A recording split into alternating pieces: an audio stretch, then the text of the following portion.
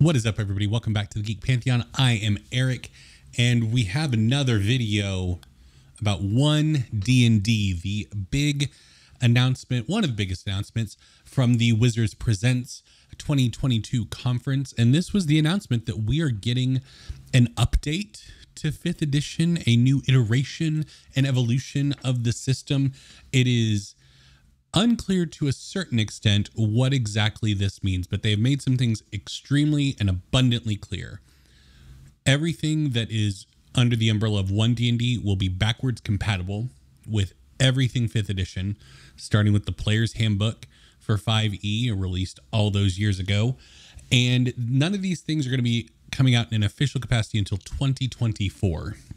So all the other announcements that we got for like the next year worth of books uh, will not be uh, utilizing these rules. But we have gotten our first unearthed arcana, our first set of playtest material for one D&D, and it is character origins.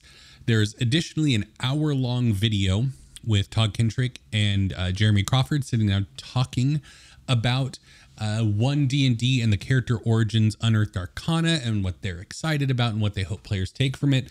So I watched that video. I've read through the PDF and I want to kind of go through and give my thoughts about what they're presenting us with. And I might pepper in some of the insights that we got from Jeremy Crawford in that video as we go through, uh, because there are some very, very interesting changes. So I thought about how I wanted to go through this PDF because we start off with basic, basically what's covered in this PDF is races, backgrounds, languages, um, uh, feats, and then a rules glossary. So each of these, I think, moving forward, are going to have a glossary at the end that give the updated version of the rules if there is anything different. So basically, if you see a rule or a condition or anything like that, and there's not an asterisk next to it, it's not included in the rules glossary, then it's just going to use the original player's handbook rules for that uh, aspect of the Unearthed Arcana. So I decided I'm going to start with the rules glossary because I feel like that makes sense because we're going to be referencing things in the rules glossary throughout the rest of the PDF. So it seems silly. I get from a layout standpoint why they put it at the end. It seems silly with me covering it to wait until the end to be like, and here's what all of that meant. So I'm going to get into it. So, first off, with the rules glossary. We start off um, with, and I'll cover that. So they're basically changing the way spell lists work.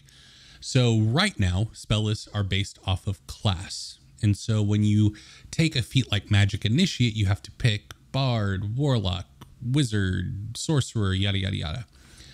They're simplifying that in a major way. So the first thing in the rules glossary is arcane spells, that term. And that works in conjunction with some things coming later that I'll just cover now of divine spells and primal spells. Arcane spells are their own list, and bards, sorcerer, warlocks, and wizards will utilize, and artificers will utilize arcane spells. And then Jeremy Crawford mentioned in the video that some classes will also get, like the warlock uh, might be able to take a class feature that gives them access to some divine spells or some primal spells, and same with like an artificer. But the base class structure is you have your more arcane classes that I just listed on the arcane spell, and then your more divine spellcasters like clerics and paladins on the um, divine spell list, and then for the primal spell list like druids, rangers, etc., pulling from the primal spell list. Um, and Jeremy Crawford gets into like from a design standpoint what they're thinking that like arcane is kind of the the multiverse um, type of magic. Divine are the upper planes, primal are the lower planes, that kind of thing. But that's the big change. We're doing away with class spell lists and we're just breaking them down by magic type. And then class features will dictate if you get to dip into other spell lists when you're playing that spell. I like this change. This is very indicative to me of Genesys, the system that we use for currently for my actual play podcast that I'm the GM for Eberron Renewed, where uh, it's a classless system, so they just have arcane, divine, primal as the magic uh, skills, and you just take ranks in that, and that dictates what kind of spells you can you can utilize. So I think this is fine. I think it's going to be great from a simplicity standpoint because, like Jeremy Crawford said, when they're talking about class features or new feats, stuff like that, they can just say you gain access to the arcane spell list, or you gain access to the divine spell list. You gain access to one first level spell from the divine spell list, as opposed to saying paladin spell list, cleric spell. Oh, I don't think paladin. You get what I'm saying? Cleric spell list, wizard spell list, sorcerer spell list. This makes it easier and simpler. Um, artisans tools uh, I'll also kind of cover they they touch on artisans tools, gaming sets, and musical instruments. Nothing really changes about these. They still have the same proficiencies. The cost has changed. So, like artisan tools, all cost 15 gold pieces now. The reason they're doing this is to level out the backgrounds. The pre made kits that you get from backgrounds, there was some cost discrepancies. So they just made everything 50 gold pieces across the board. Every background, every pre made background, the equipment kit that you get worth 50 gold pieces so that you're you're not hindered if you decide to make your own background and just get 50 gold pieces to start with you're not ending up better or worse than other backgrounds um, creature types None of these have changed that I'm aware of. Aberration, Beast, Celestial, Construct, Dragon, Elemental, Fey, Fiend, Giant, Humanoid, Monstrosity, Ooze, Plant, and Undead are the um, are the creature types listed in the glossary. I was really hoping to see Outsider. That's a creature type that I think 5th edition is really missing, and I loved the Outsider creature type. Um, so I was sad to not see that. But an important thing, just kind of tucked in the creature type rules glossary entry is it references, for the example, the description of cure wounds specifies that the spell doesn't benefit a construct. That is huge because back in an Unearthed Arcana in the past, when they were doing the lineages and they had the Dhampir and the Rewoken, I think, um, but the Dhampir was going to be undead, and humanoid. It was it was a weird thing that they were doing like double dipping. But I was against that because having an undead player character race screws everything up because rules as written currently, cure wounds does not benefit undead creatures. That's no longer the case. Well, as of right now in this playtest material, at least according to this little like example given, is cure wounds does not benefit constructs. So maybe we'll see a player race that's undead and they've made this modification so that an undead player is not at a huge disadvantage amongst the rest of the player characters and having to go out of their way to find a different type of healing. Constructs have mending as a spell that heals them. Uh, and they did away with like the positive energy, negative energy that they had in 3.5 that also kind of worked where like inflict wounds healed undead creatures. That's no longer a thing. So I, I like this change if it's what I think it is. Um, okay, big, big one, kind of a big one. Well, so D20 tests is the next rules glossary entry. So the term D20 test encompasses the three main D20 rolls of the game ability check, attack roll, and saving throw. If something affects a D20 test, it affects all three of these rolls. I like having a general catch all term for that. D20 test is a little clumsy, but I don't hate it.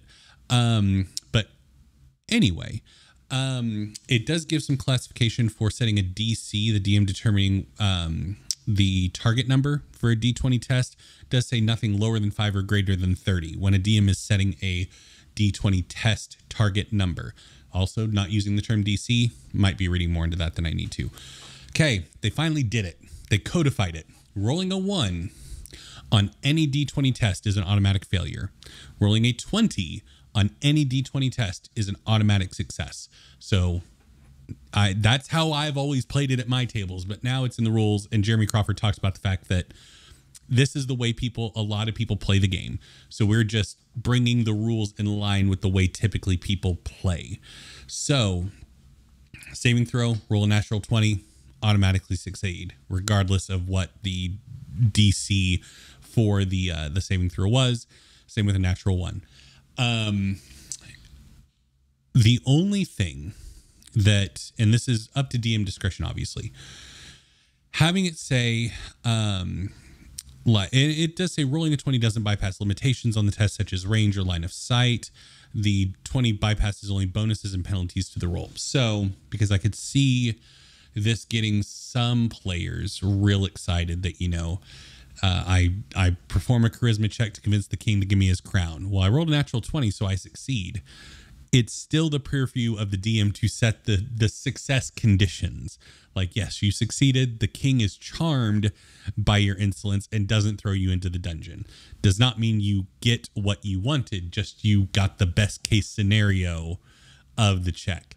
So that's an important thing that I'm worried that people are going to be like, "Oh, I rolled a 20 on a on the check, so I get everything that I could ever want." So that's an important thing, but they have codified that. Okay.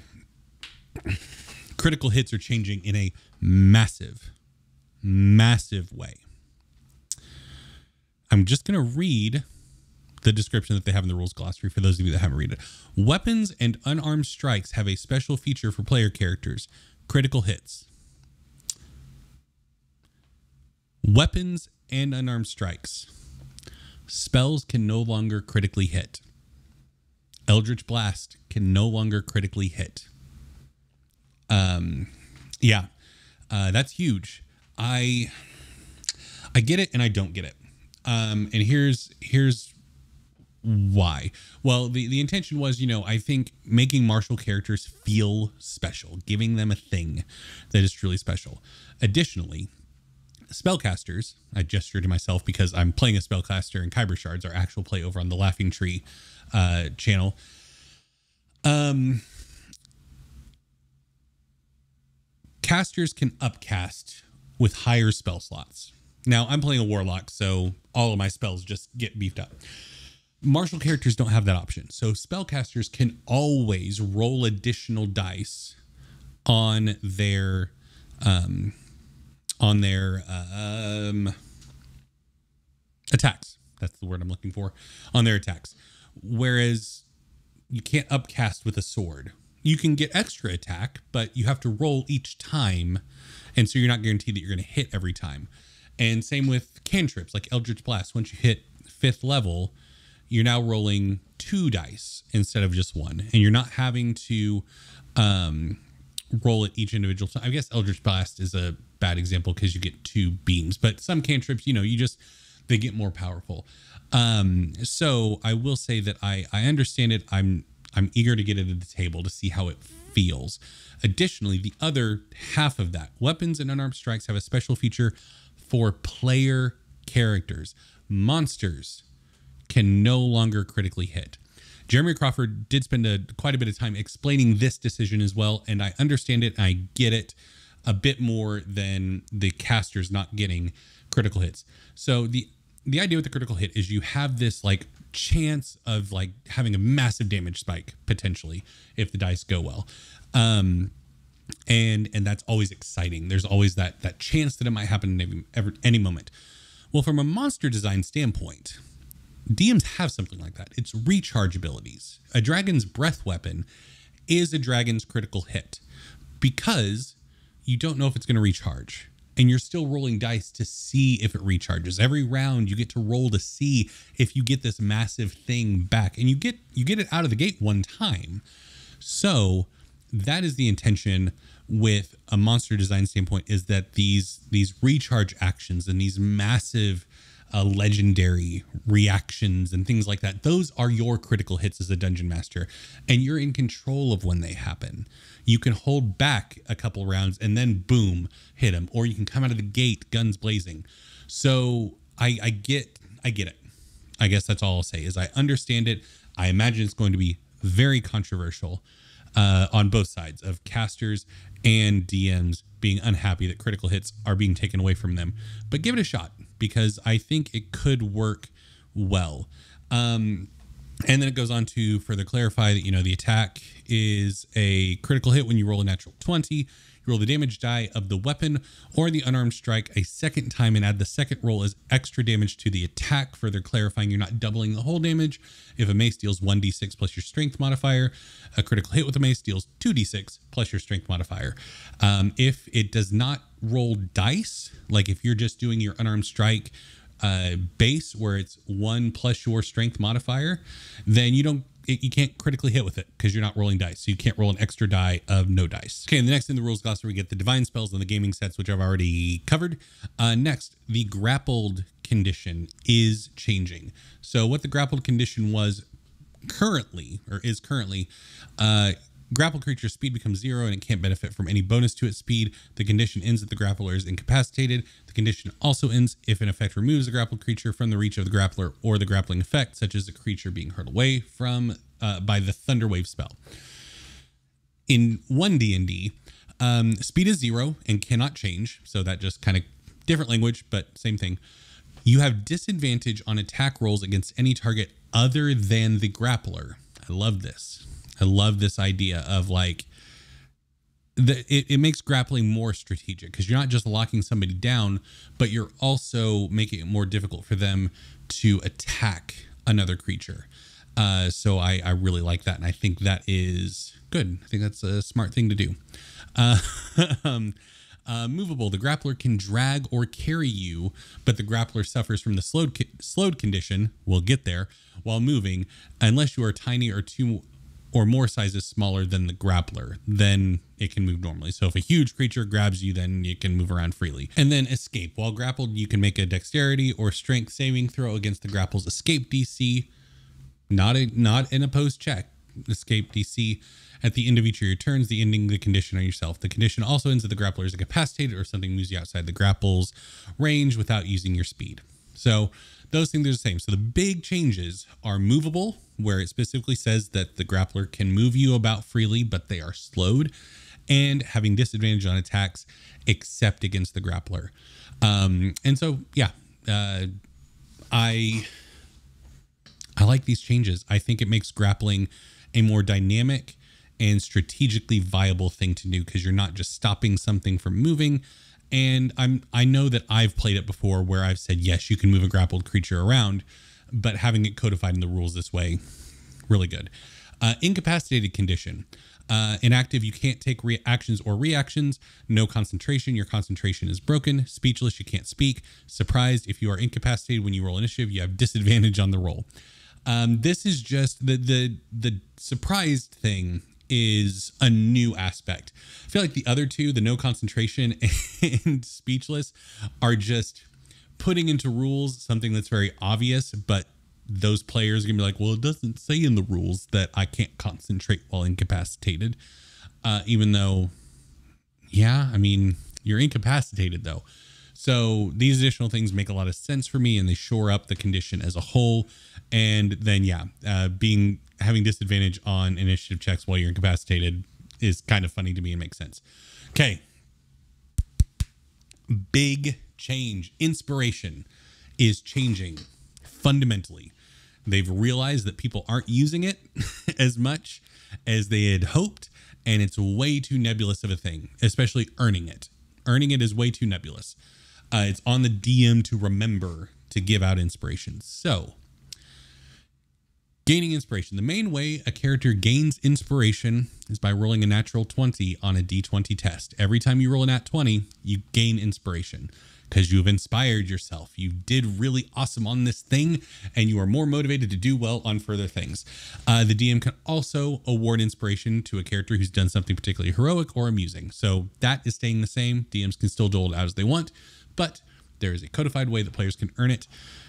Great. Additionally, you can only have, or you can never have more than one instance of inspiration.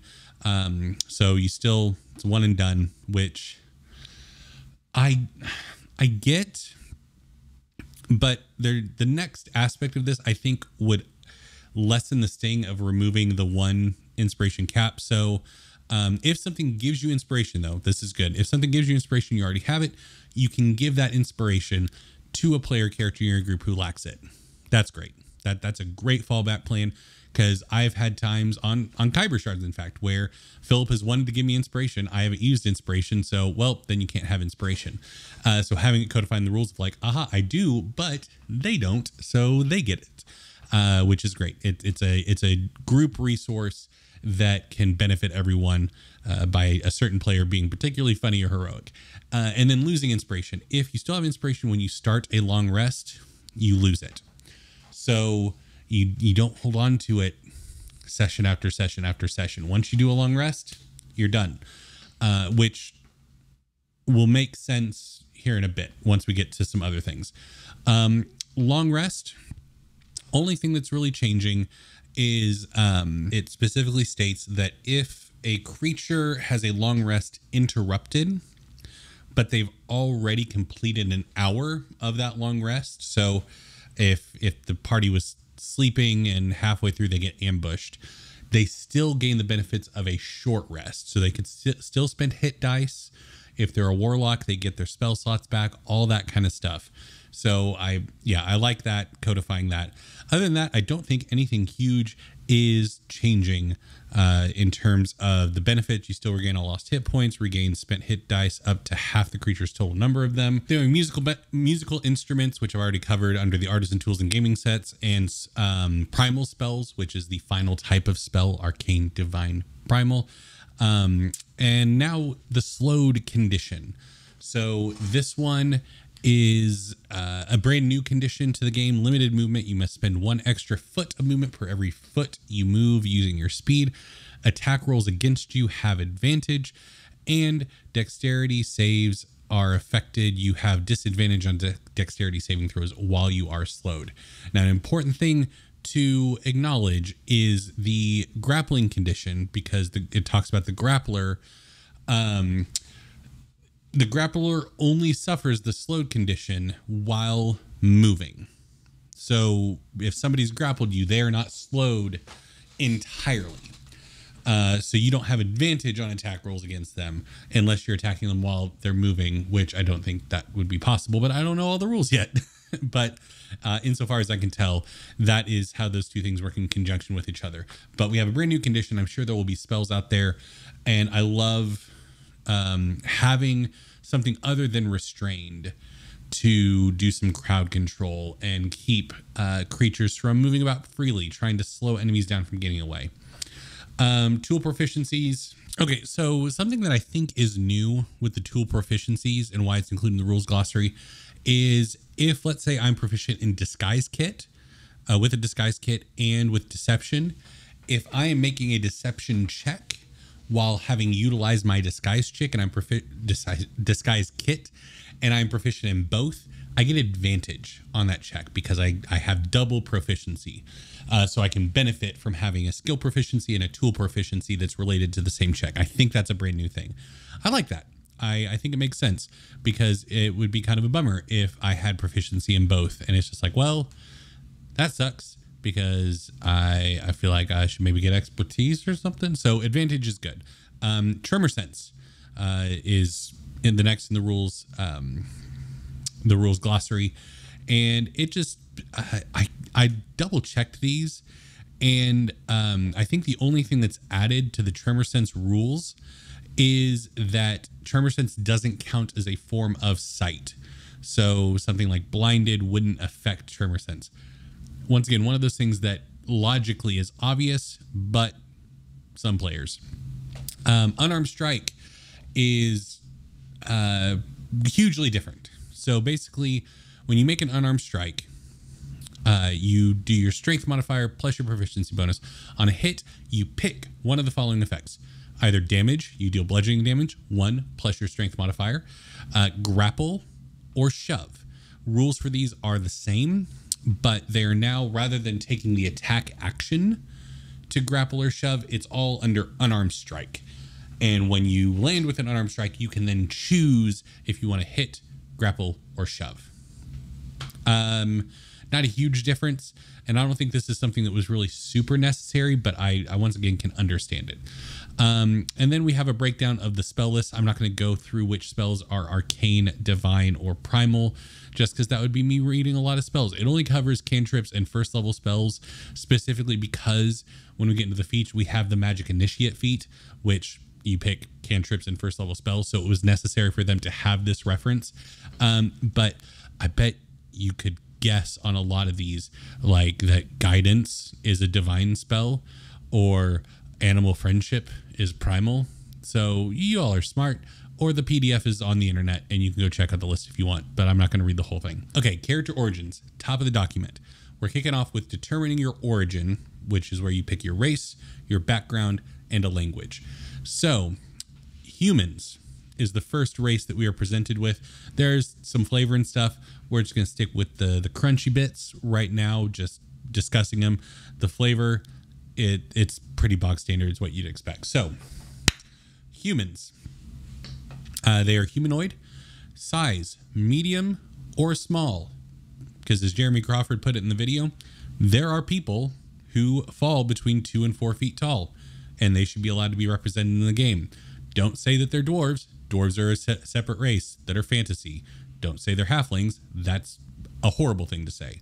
There are people that are that size. They're represented in the game now. Love that. Um, speed 30 feet, lifespan 80 years on average. As a human, you gain three special traits resourceful, you gain inspiration whenever you finish a long rest. So if you're a human, when you wake up, you're inspired. So you see what they've done with inspiration is if you're a human, you're never going to be afraid to use it because every time you wake up, you're going to have it again. And you might get it further when you roll a d20 and land on a 20. So I like that they're making inspiration a more plentiful resource and it's more readily available. Skillful, you gain proficiency in one skill of your choice. Makes sense. Versatile, you gain the skilled feat or another first level feat of your choice. So essentially, variant human is just human now. Um, and then we get a bit more of flavor text. Ardlings. These are a brand new race. They are supernatural beings who are either born on the upper planes or have one or more ancestors who originated there. They're like Aasimar's cousins, but they're animal based. So you have three different types exalted, heavenly, or idyllic. Uh, the Ardling traits, they are humanoid. Once again, they can be either medium or small. Speed 30 feet, lifespan 200 years on average. Ardlings gain the special trait angelic flight as a bonus action.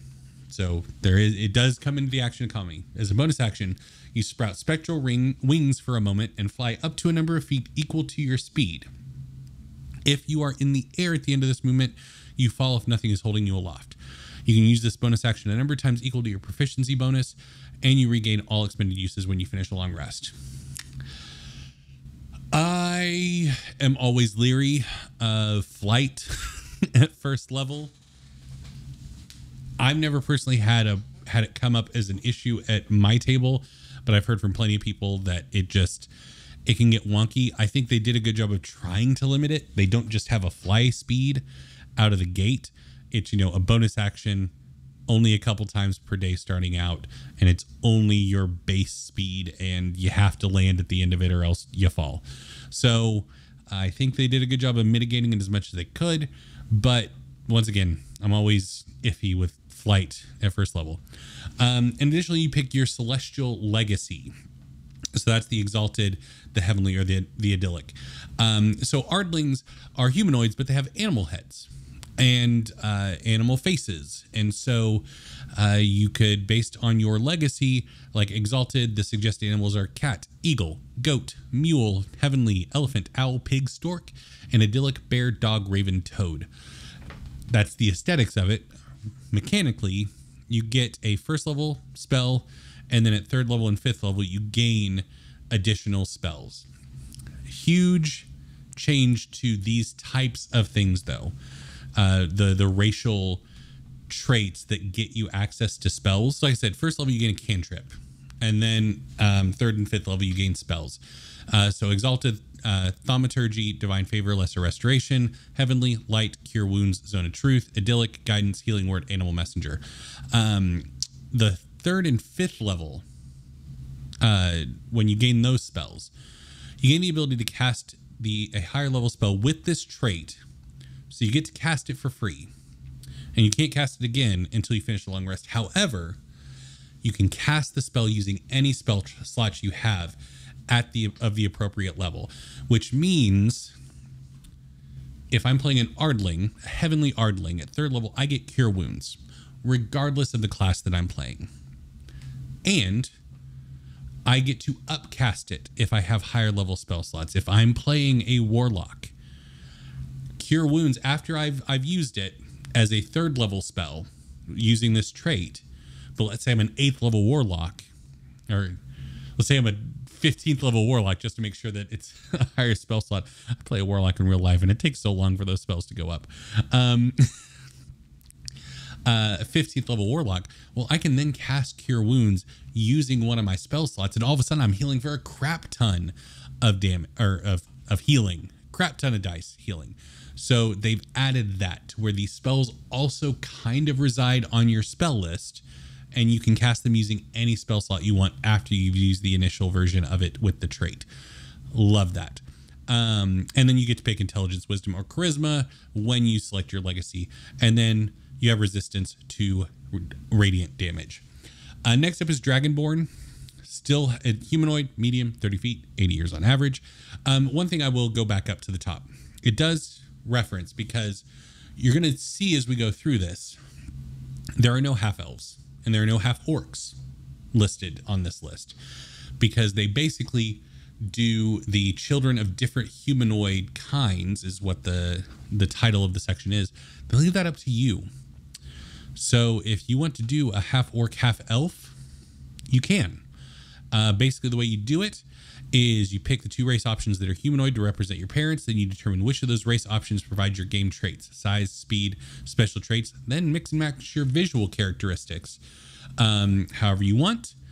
And finally, determine the average of the two options uh, lifespan traits to figure out how long your character might live. So the example is a child of a halfling and a gnome has an average lifespan of 288 years. So if I were to do a human and an ardling, then I could do the celestial legacy uh, and the versatile where I get an additional feat and resourceful.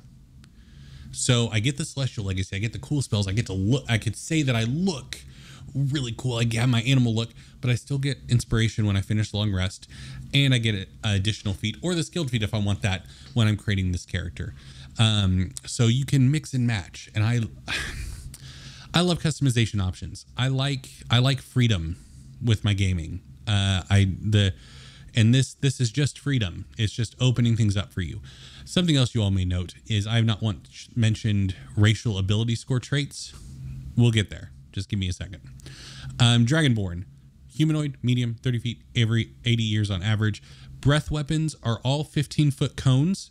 Uh, they're still based on the dragon type, so black acid, blue lightning, etc. Um, you can use the number of times equal to your proficiency bonus, and you regain all expended uses uh, at the end of a long rest. You gain damage resistance to your ancestry type, dark vision, and draconic language. You get to speak draconic out of the gate. Everybody speaks common, also, just straight out of the gate. Um, dwarf. Uh, dwarves, humanoid, medium, 30 feet, 350 years on average. Dark vision, dwarven resilience, resistance to poison damage. You also have advantage on saving throws you made to avoid or end the poison condition on yourself. Dwarven toughness, your hit point maximum increases by one and it increases by one again whenever you gain a level. So you essentially have an additional plus one to your constitution modifier. Uh, Forge wise, your divine creator gave you an uncanny affinity for working with stone or metal. You gain tool proficiency with two of the following options of your choice jewelers, masons, smiths, or tinker's tools. Here's the big new one stone cunning.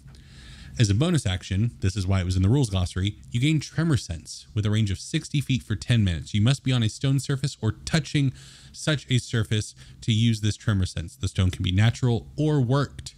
So if you're just in a city on stone roads, you can use Tremor Sense. Uh, you can use this ability a number of times equal to your proficiency bonus. You gain all expended uses at the end of a long rest. It's so cool. Something else you will note no sub races. None. Um, the, because you get like the legacy choices. So, like the Ardling with an old development mindset would have been you know, the exalted, the heavenly, and idyllic would be sub races, and you would have a whole other thing. Now it's just you just pick one. It's like the Dragonborn. Just pick one. We don't have to list out every every option. Elves, humanoid, medium, 30 feet, 750 years on average.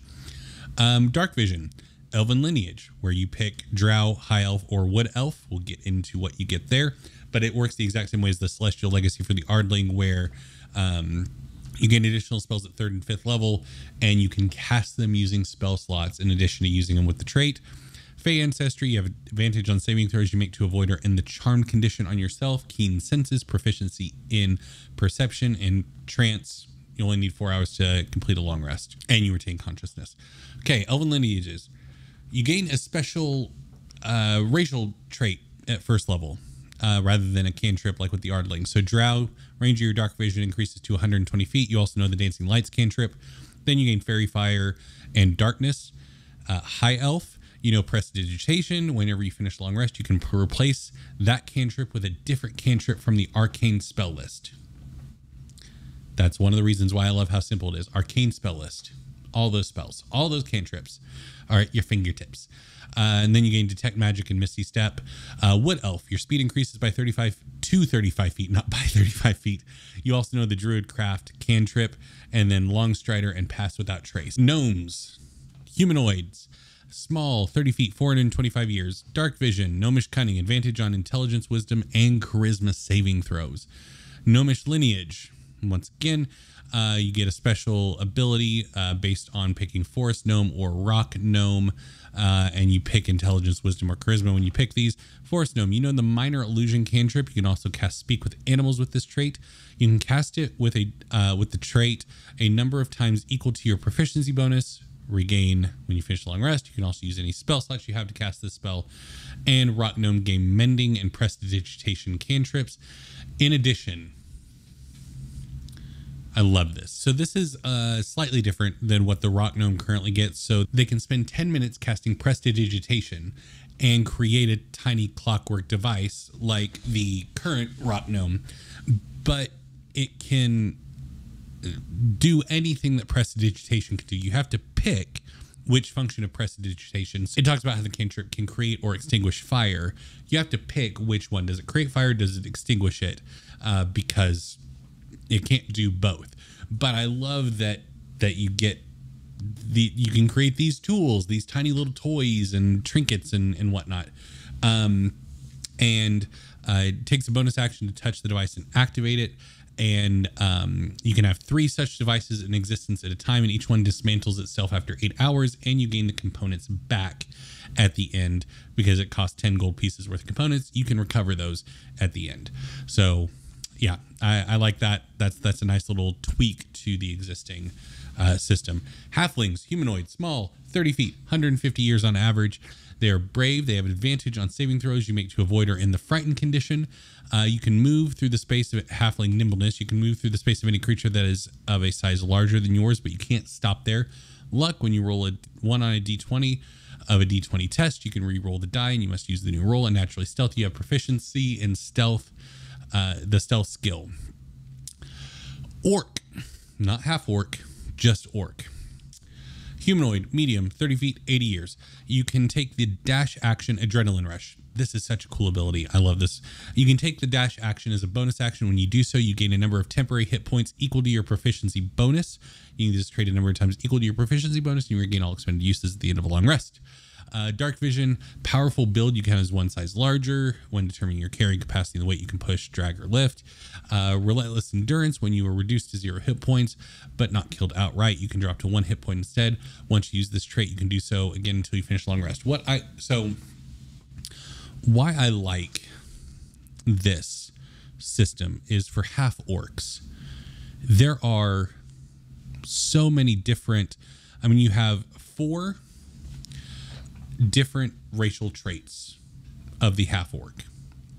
And I believe you have three racial traits of the human, if I'm not mistaken.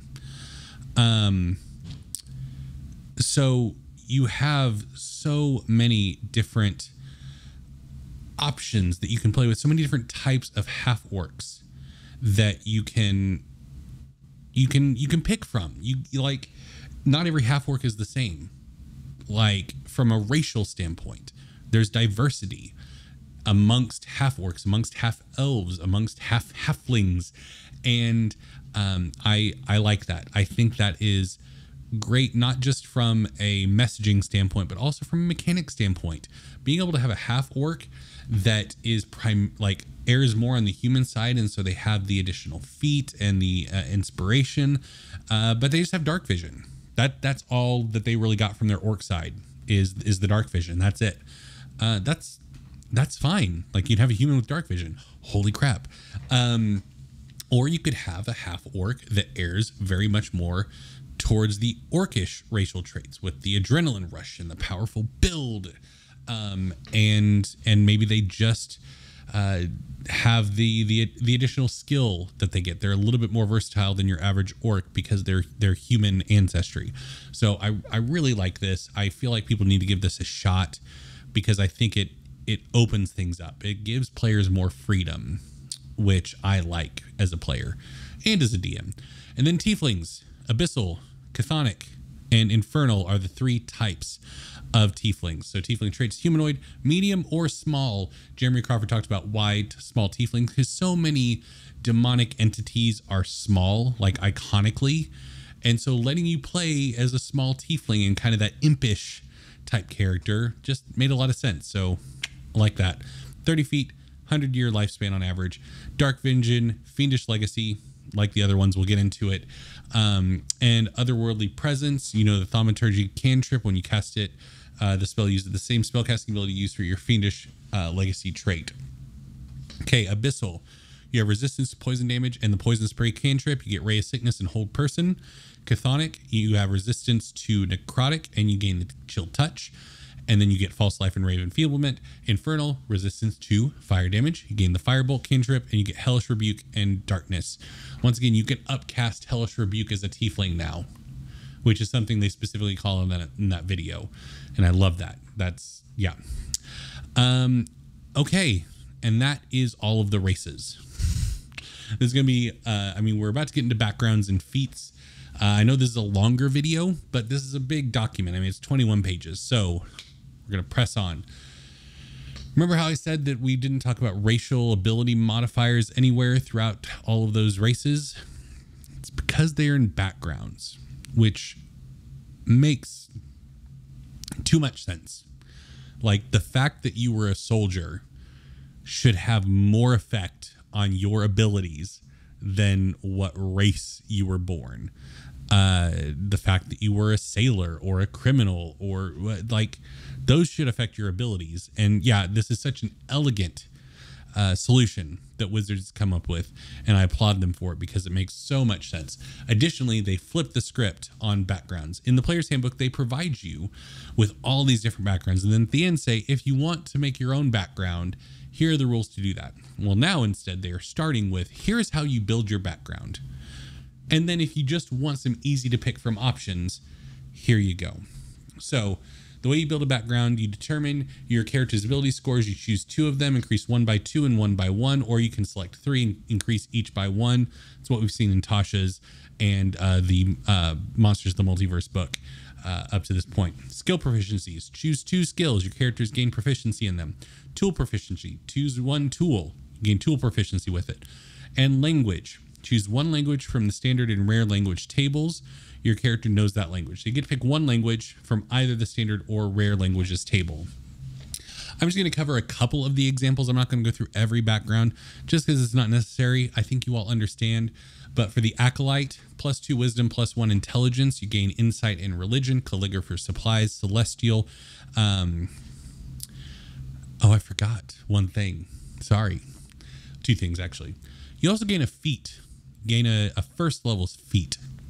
I said first level feat. That's right. Feats are leveled.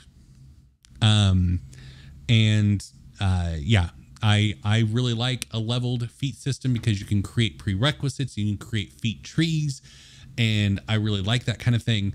So it seems like we're going in that direction. So choose one first level feat, your character gains that feat, and 50 gold pieces to spend on starting equipment, and you keep any unspent gold pieces as spare coin. So Language Celestial for the Acolyte, Feat, Magic Initiate, Divine. And then you have your equipment, prayer book, parchment, calligrapher supplies, robe, holy symbol, and three gold pieces left over.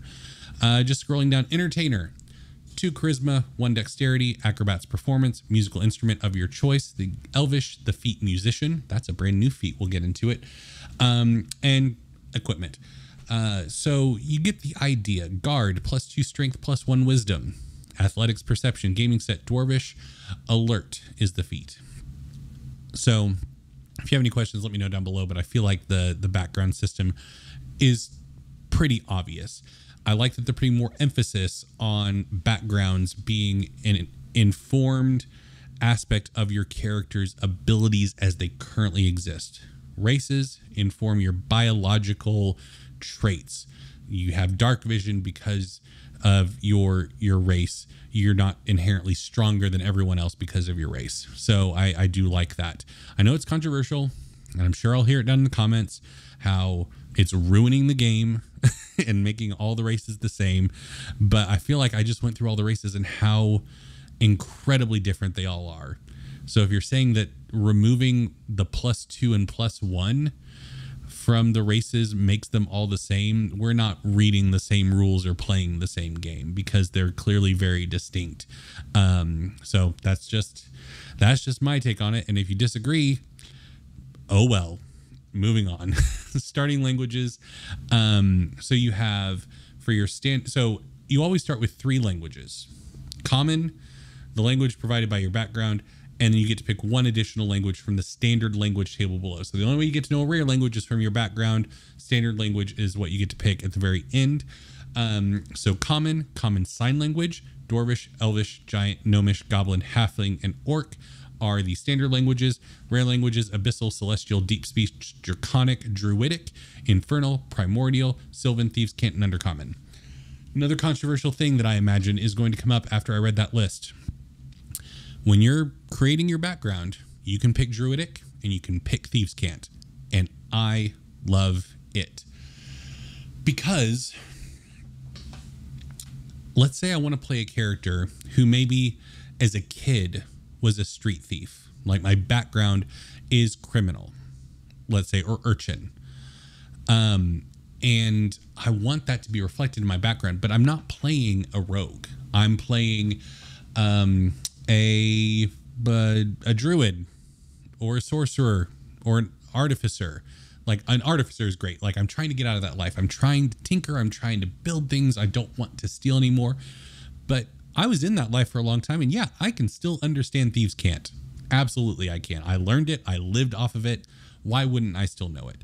Maybe I grew up in a druidic circle. Maybe I was raised and my parents were druids and I decided I didn't want to be a part of that life. I didn't want to do that. I wanted to go off to the big city and make my way as a bard. But you know, I was taught druidic since I was 3 years old. Like I know druidic. So I I like it. I like it. I like it. That's all I'm going to say. I like I like including druidic and thieves cant in the languages that you can know as part of your background. Okay. Feats so um, uh, there's not a ton of feats, so I'm going to go through them because they are different. They did change the feats. Something they talked about with uh, creating the feats is they wanted to make the feats appealing to people that it made sense. So the healer feat was the one that they specifically called out in the video. If you're making a life cleric and you see the healer feat just as a heading, you're like, oh, I want to be a healer. I'm going to take that but there's not really anything for you if you can already heal people. The healer feat was for people who couldn't heal people that wanted to be able to heal people. So what they've done is they made the healer feat appealing to both people that can't heal and people that can. They they've tried to thread that needle. So, alert. Alert is a feat that already exists, but this is very different. Uh, first level, no prerequisite. It's not repeatable. What repeatable means is if the feat is repeatable, you can take it more than once uh, to regain that, and we'll get into it in here in a second. Initiative proficiency. When you roll initiative, you gain proficiency on that roll. And then initiative swap. Immediately after you roll initiative, you can swap your initiative with the initiative of one willing ally in the same combat. You cannot make the swap if you or the ally is incapacitated. Yeah, I, I dig this. I love it. I love initiative manipulation. Um, one thing that I've never really liked about D&D is the fixed initiative system, and this is a little something to make it a little bit better. The crafter feat is a first level feat, no prerequisite, non-repeatable. You're adept at crafting things and bargaining with merchants, granting you the following benefits. Tool proficiency, you gain tool proficiency with three different artisan tools of your choice. And you gain a discount when you buy a non-magical item. You receive a 20% discount on it. and when you craft an item using a tool with which you have tool proficiency, uh, the required crafting time is reduced by 20%. So, this is obviously a version of the skilled feat. And Jeremy Crawford once again talked about this in the video that they wanted to take something like the skilled feat and make it a bit more, make it a bit more flavorful for the specific type of skills that you're gaining. So, obviously, with Crafter, you're talking about tool proficiencies with artisan tools. And then you get some additional stuff of a discount and a reduction in time to craft things. Uh, healer, first level, no prereq, non repeatable. Um, Battle Medic, if you have a healer's kit, you can expend one use of it to ten, and tend to a creature within five feet of you as an action.